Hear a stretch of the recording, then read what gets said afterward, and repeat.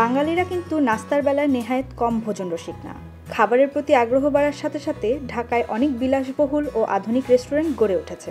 আজকে আমরা আপনাদেরকে এমন কিছু রেস্টুরেন্টে নিয়ে যাব, যেখানে যাদের দিনের শুরুটা ভালো নাস্তা দিয়ে করতে পছন্দ করেন, তাদের সকলেরই যাওয়া উচিত। তাহলে চলুন শুরু করা যাক। খুব ভোরবেলায় উঠে সবার আগে আমরা চলে গেলাম পুরান ঢাকার বাংলা বাজারে অবস্থিত প্রায় একশো বছর পুরানো চৌরঙ্গি রেস্টুরেন্টে। একদম রাস্তার পাশে অবস্থিত ছোট্ট ছিমছাম রেস্টুরেন্টে আপনি খুব অল্প টাকায় পেট পুড়ে খেয়ে ফেলতে পারবেন। এখানকার সিগনেচার আইটেম লুচি ও ডাল। পেঁয়াজ কুচি, বিশেষ মশলা আর ধনে পাতা ছিটানো ডালের মধ্যে গরম গরম লুচি ডুবিয়ে খেতে লাগবে একদম অমৃত। আর সাথে নিয়ে নিতে পারেন তাদের বিট লবণ দিয়ে বানানো বিশেষ ধরনের অমলেট। আর হ্যাঁ তাদের চাটা কিন্তু বেশ মজার। সব মিলিয়ে এক প্লেট লুচি বা ডাল পড়বে মাত্র পনেরো টাকা। আর পোচ বা অমলেট যেটাই নেন না কেন, সেটাও মাত্র পনেরো টাকা। জাকালো নাস্তা পছন্দ করলে হিরাঝিল হোটেল আপনার জন্য। রাজধানীর বাণিজ্যিক প্রাণকেন্দ্র মতিঝিলে অবস্থিত হিরাঝিল ব্যবসা করছে প্রায় পনেরো বছর ধরে। একটু দেরিতে যাওয়ায় আমরা হিরাঝিলের বিখ্যাত পায়া আর কলিজা মিস করে ফেলেছিলাম। তাই যাদের এসব পছন্দ, তাদেরকে সকাল নয়টার মধ্যে অবশ্যই রেস্টুরেন্টে পৌঁছাতে হবে।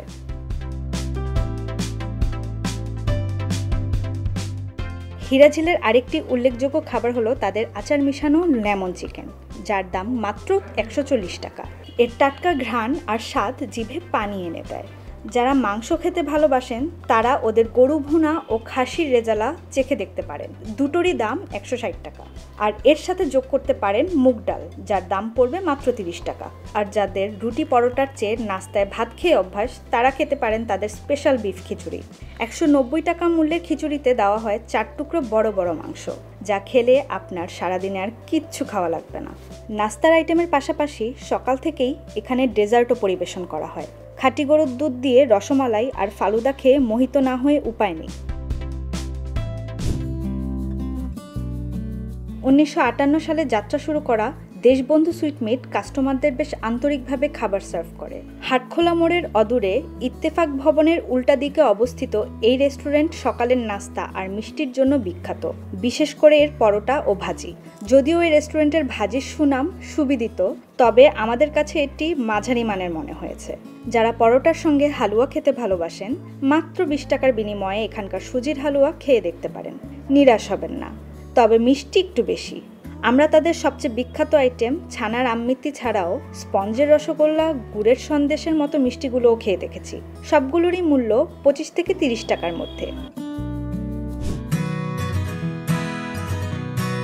নীরব হোটেলের নামডাক মূলত অনেক পদের ভর্তার জন্য হলেও নাস্তার জন্য এরা বেশ আন্ডার একটি জায়গা।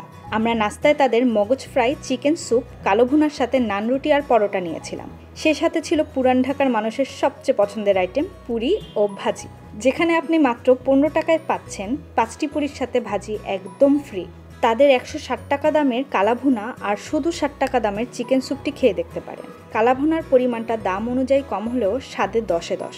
আর চিকেন স্যুপে মুরগির দুটি পিসের সাথে অনেকখানি স্যুপ দেয়, যেটা দুজন মিলে সহজেই শেয়ার করতে পারেন। পুরান ঢাকার ঠাটারি বাজারে অবস্থিত রাস্তার উপর ছোট্ট একটি মিষ্টির দোকান হলো গ্রিন সুইট মিট। সকালে একটু আগে ভাগেই যেতে হবে, তাদের বিখ্যাত টক দই দিয়ে আলুর দম ও লুচি খাবার জন্য। দইয়ের কারণে দমটি একটু টক লাগলেও খানিক্ষণ পরেই আপনি এর স্বাদে ডুবে যাবেন। আর সাথে খেতে পারেন তাদের গাজরের হালুয়া, জিলাপি বা আমিত্তি আমিতি তাদের বিখ্যাত আইটেম হলেও আমাদের কিন্তু গাজরের হালুয়াটা বেশ লেগেছে। গুঁড়ো দুধ, মাওয়া আর ঘিয়ের সাথে মিহি করে বানানো গাজরের হালুয়া আমাদের গতানুগতিক হালুয়ার চেয়ে অনেক আলাদা আর স্বাদেও অতুলনীয়।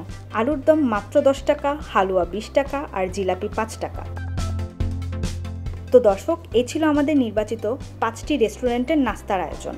এর বাইরে আপনাদেরও এমন কোনো সাজেশন থাকলে আমাদের কমেন্ট বক্সে অবশ্যই জানাবেন।